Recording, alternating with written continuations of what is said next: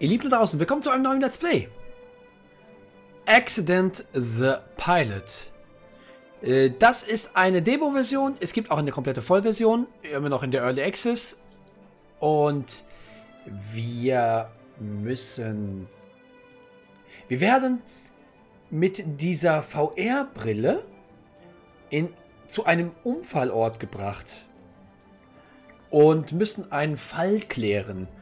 Sehr cool, sehr cooles Spiel und auch soweit ich es äh, angespielt habe, ähm, man kann so Test-Dummies testen, ähm, sehr realistisch. Ich finde das gut. Ich finde solche Spiele sehr gut. Wer sowas mag, ist auch äh, recht spannend. Ähm, man kann auch was daraus lernen, wie man bei einem Unfall, ihr wisst ja, wenn, ihr, wenn ein Unfall passiert, ist man selber immer nervös und man weiß nicht, was man machen muss. Und ich finde, das Spiel zeigt einen, wie man Schritt für Schritt ähm, vorgeht. Und natürlich kommt dann auch Detektivarbeit. Wir sind ja hier ähm, Mr. Detektiv und äh, wir haben hier unsere, unsere Unterlagen. Hier seht ihr, das, das habe ich einmal mal ganz kurz angetestet. Das ist so ein Crash-Test-Dummy-Labor. Und wir gehen mal ganz kurz auf die schwedische Countryside Okay, Oktober, 3. Oktober 2016. Kronberg Country, Schweden. Um 12.30 Uhr. Und First Responder, das ist genau. Und das machen wir jetzt mal. Ich verstehe noch nicht so ganz genau. Ich werde ja gleich mit den Augen dieses Au August Nielsen sehen. Ähm, und dann werden wir sehen, was er so getan hat. Das finde ich ganz cool gemacht. Wir gehen mal rein. Viel Spaß.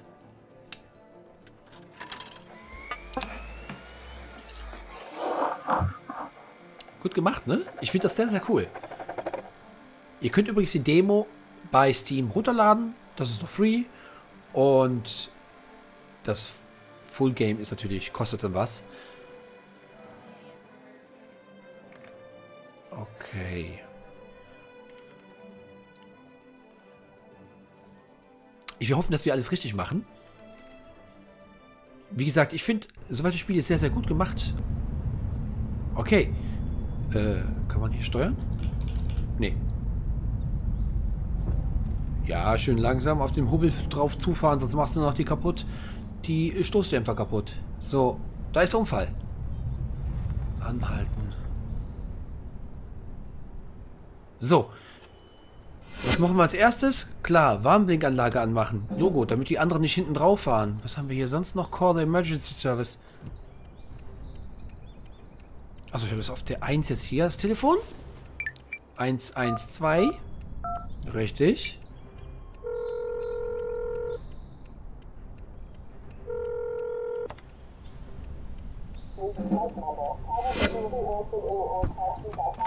Mach alle Autos aus. Sichere die Unfallstelle. Können wir gerne machen.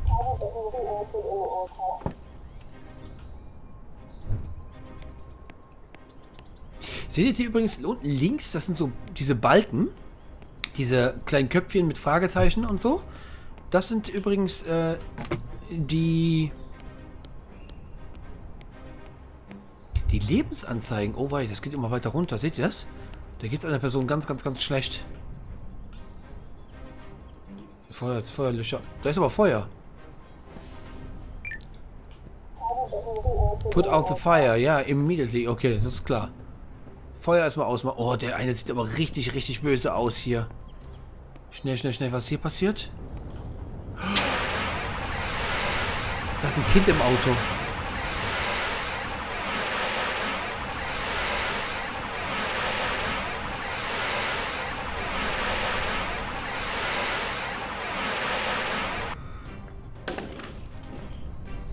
Haben wir hier was? Hier ist was, hier ist was drin. Ah!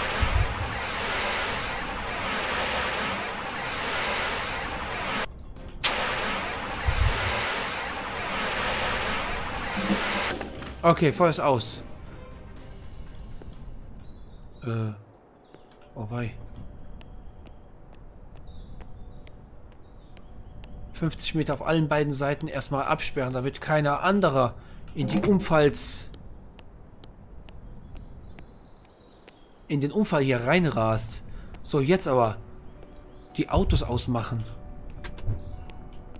Oh mein Gott. Leben. Der Lebens. Das der Lebensbalk von den Leuten geht immer. Nie. Da ist einer, der hat übrigens gar kein Leben mehr. Wer ist das? Vielleicht der Typ, der auf dem Boden liegt, weil der sieht ziemlich blutig aus. Scheint mal der LKW-Fahrer sein, weil der ist die ganze Scheibe kaputt. Kommt man eigentlich von der Seite auch rein? Baff. Türe durch mich durch. So, Auto ausmachen. So. Wie geht's dir denn eigentlich? Okay. Leicht schütteln. Check the breeze. Ah, okay. Kopf erstmal in den Nacken legen und dann... Okay, haben wir es gemacht? Ich habe nichts gehört. Hört man da was? Müsste ich. Okay, wir haben eine Wunde gefunden. Komme ich ja wieder raus? Achso, hier. Okay, wir müssen uns beeilen. Ich gehe erstmal bei der, bei der Frau gucken. Das sah mir gar nicht gut aus. Die ist ja richtig reingerast. Leicht, leicht schütteln. Hallo? Ma'am? Warum geht's nach unten? Ah, abschnallen.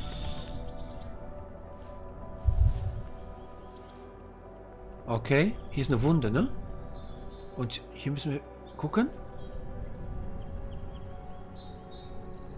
Ich hoffe, der Dame auch nichts.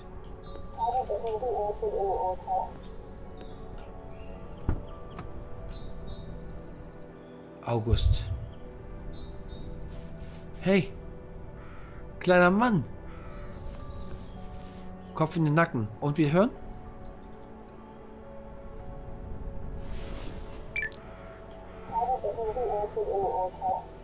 Okay, schneller weiter. Wir müssen uns ja auch schon was, wir müssen uns was beeilen. Man muss da ruhig an die ganze Sache rangehen. Ich finde sowas ganz gut, solche Spiele. Okay, festhalten. Ah, aber bei ihm höre ich was. Bei den anderen höre ich nichts. Guck, der, auch der Brustkorb bewegt sich. Okay. Hier ist noch eine Wunde. Check your exact location. Wo kann ich das? Gibt es ja Schilder? Kann ich auf... Ach, hier bestimmt... Habe ich ein Navigationssystem im Auto oder sowas? Ja, guck mal hier.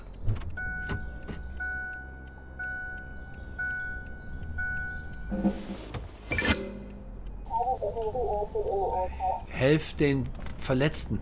Ähm, ganz ehrlich, er ist das Kind. Für mich ist das Kind. Das Kind muss als erstes hier raus.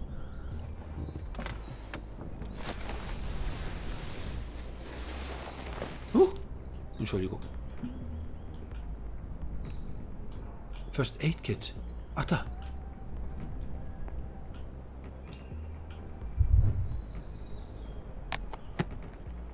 Was ist das? Handschuhe. Klar, Handschuhe als erstes an. Und hier... Äh, ja. Kopf in den Nacken. Die Wege frei machen und... Ja, dieses... Kann an, wie das Ding heißt. Äh, das hatte ich auch. Oh, weil da muss man das. Die Maus immer.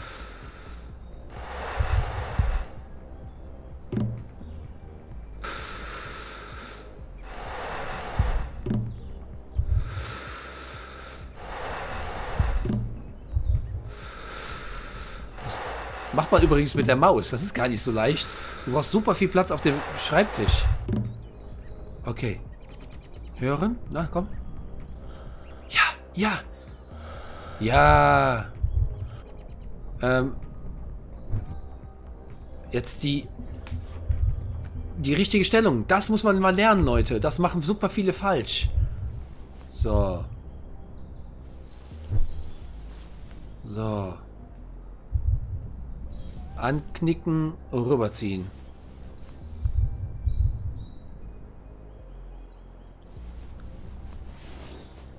So. Das... Oh, oh, oh, oh. Wieso? Wieso? You need to act faster. Was ist denn falsch gelaufen? Der Junge war doch gerettet. Okay. Mit der R-Taste, Leute, kann man übrigens, das ist ja, wie gesagt, wir sind ja nicht im realen Unfallsort. Ist ja immer noch ein Spiel, ganz klar, aber ich meine jetzt realen, wir sind jetzt nicht im realen, sondern wir sind in so einer Simulation auf VR. Und wir können mit der R-Taste gedrückt halten, können wir zu einem bestimmten Punkt zurückgehen. So. Wisst ihr noch? Wir haben nämlich hier das, ähm, müssen wir gucken. Also, der Kleine ist nämlich das Erste, der gerettet werden muss. Ist genau wie ich gesagt habe. Ich glaube, sie ist tot. Sie ist tot. Die Mutter ist tot. Wieso hat das denn nicht geklappt? So, was habe ich denn falsch gemacht? Es war noch genug Zeit. Was war denn falsch? Hm, sehr interessant.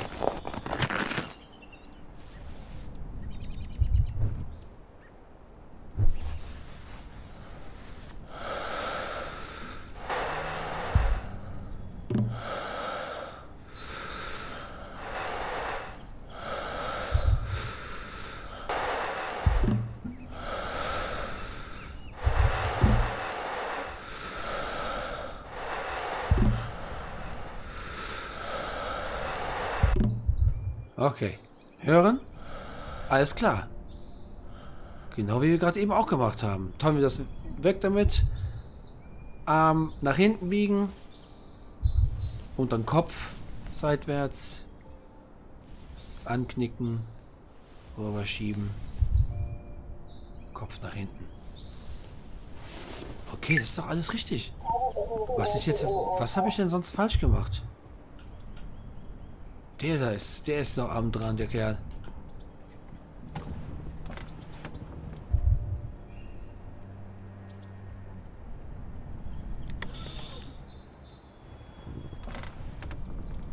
Okay, dem müssen wir auch ganz, ganz, ganz schnell helfen. Wo ist er?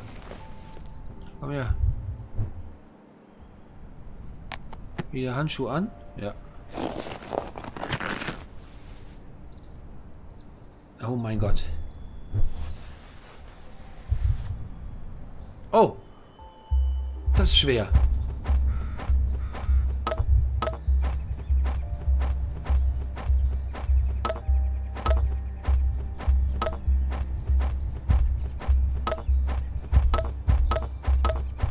Ich muss hier genau drücken, wenn dieser, wenn der...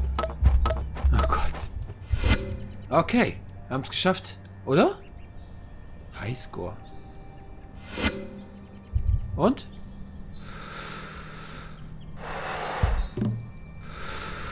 Habe gar keinen Platz auf meinem...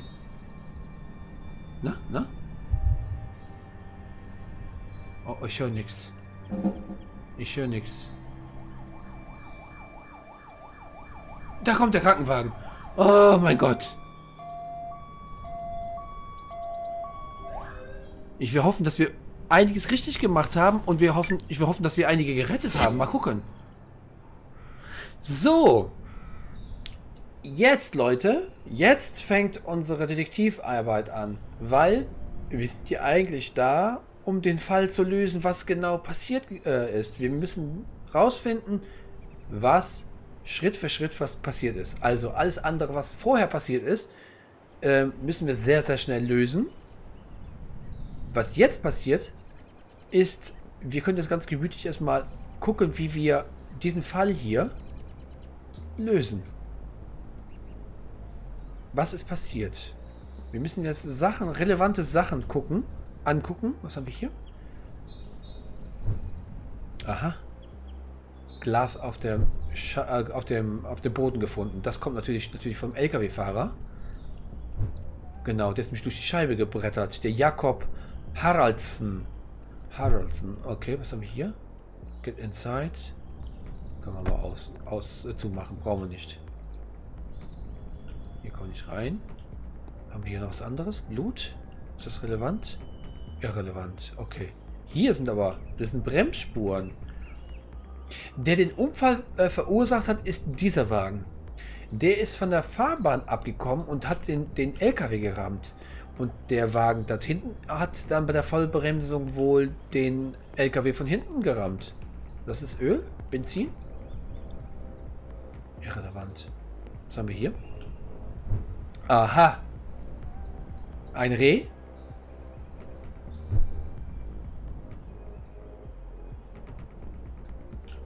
Okay.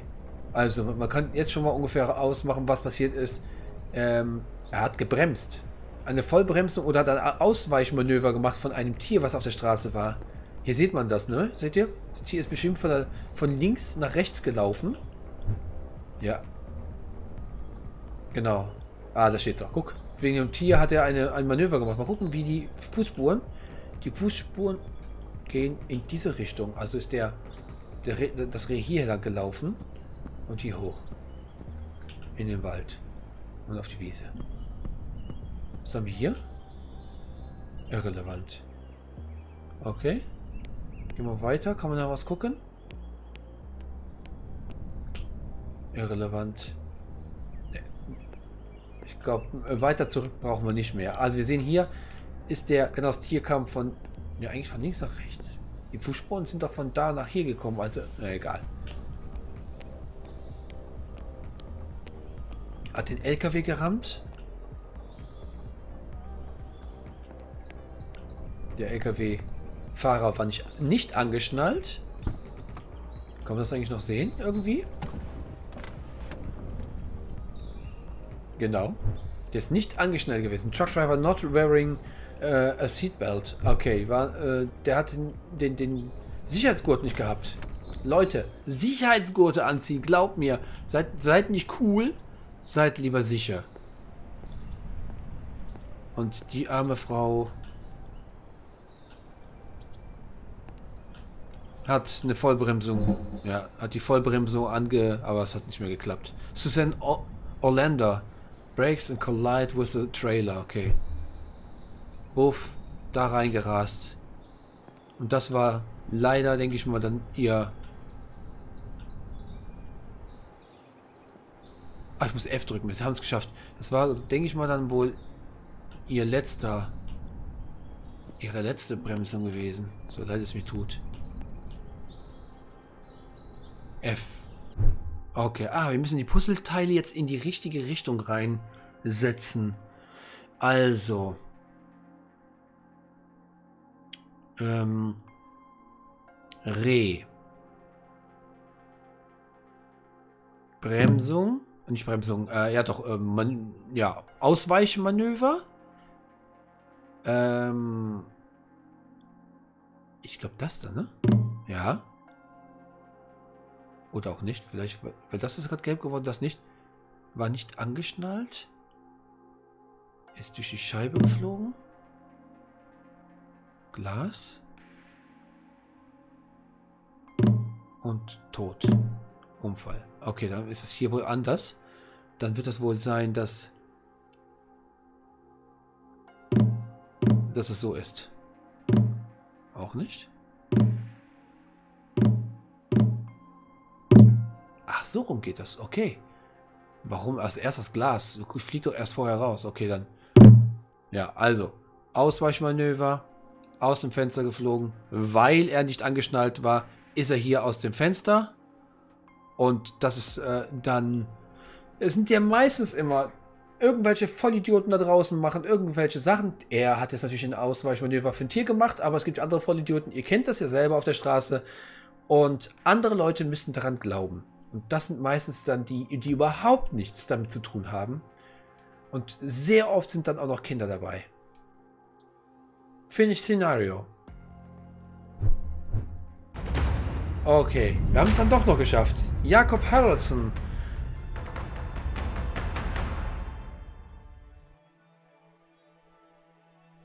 Okay, es, äh, er hat überlebt.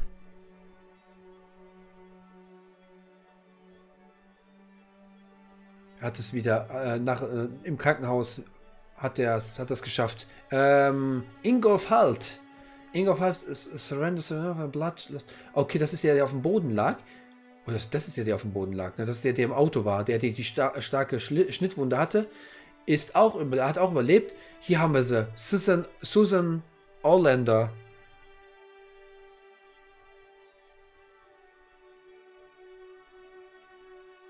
August Orlando hat es auch geschafft. Und der hat jetzt keine Mutter mehr. Das ist so traurig, sowas, sowas zu spielen.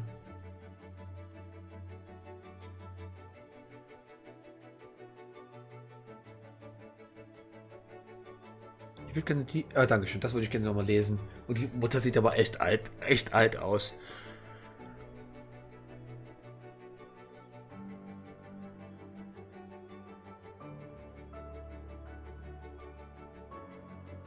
Okay, sie ist sofort gestorben. Warum? Das verstehe ich nicht. Smashed the front window. Aber hatte sie kein Airbag?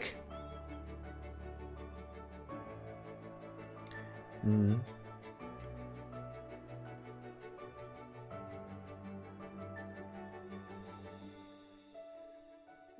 Ah, ist das traurig. Der arme August, der ist jetzt äh, ohne Mutter da. Das ist so schrecklich, Leute. Gutes Spiel, Leute. Sowas gefällt mir. Es ist, es ist, äh, also, ihr habt ja gesehen, einmal haben wir es ja falsch gemacht.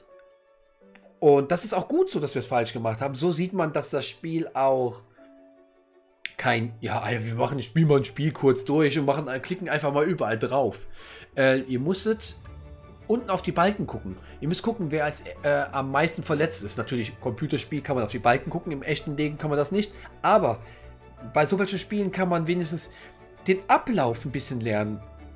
Bevor man aus dem Auto rausbrettert und losläuft, erstmal die Polizei rufen. Das ist auch, auch wichtig, dass man diesen Schritt, denke ich mal, wagt, äh, nicht sofort rauszulaufen.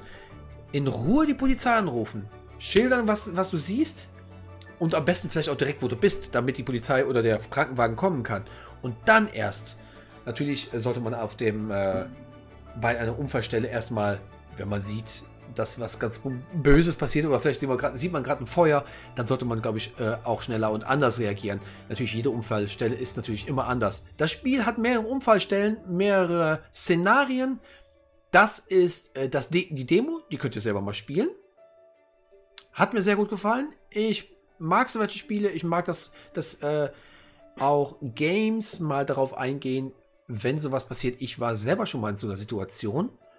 Ähm, bei, nicht bei ich selber in der Situation, sondern eine gute Freundin von mir war einmal äh, in so einer Situation hier ähm, in Deutschland. Ihr wisst ja, ich wohne ja in Italien, aber in Deutschland ist das passiert.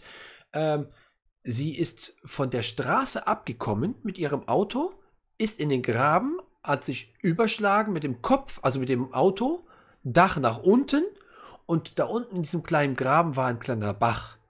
Ganz flacher Bach und es hat geregnet und das Wasser lief da ins Auto rein die ganze Zeit. Und es hat kein Mensch angehalten. Kein Mensch. Das war eine befahrene Straße. Wir reden von einer, keine Landstraße, es war ein Stück zwischen einer Stadt und einer anderen Stadt. Das ist eine sehr viel äh, befahrene Straße. Zum Glück hatte sie das Handy dabei und konnte jemand anrufen. Sie hat mich angerufen, ich habe die Polizei äh, und, äh, angerufen. Ähm, schrecklich, Leute. Die Leute halten nicht an, aber so was passiert, weil die Leute nicht wissen, wie sie reagieren sollen, wie sie, was sie tun sollen. Und ich finde solche Spiele ganz gut. Dann äh, hat man wenigstens, auch wenn man vieles falsch macht, es ist ja egal, man macht aber was. Ne? Es, es wird ganz sicher keiner böse sein, wenn du was tust. Wenn du gar nichts tust und vorbeifährst, das ist schlimmer, das ist strafbar. Wenn du aber aussteigst und hilfst, ist egal, auch wenn du es falsch machst, aber du hilfst und machst ja was. Das ist wichtig. Und dieses Spiel gibt dir so mal so ein bisschen Vertrauen in so eine Situation, die man bewältigen muss. Aber ihr, ihr habt ja genug gehör, gehört von mir. Ich finde sowas gut. Ich mag solche Spiele. Ähm, ihr könnt ja gerne mal in die Kommentare schreiben, ob ich die nächsten Szenarien auch machen soll. Dann werde ich mir das Spiel kaufen und äh, werde das Spiel dann mal für euch, äh, mit euch spielen. Schreibt es in die Kommentare. Vergesst den Daumen äh, hoch nicht und wenn äh, ihr solchen Content mögt, einfach ein Abo da lassen. Und ich sage euch dann mal Tschüss, bis dann.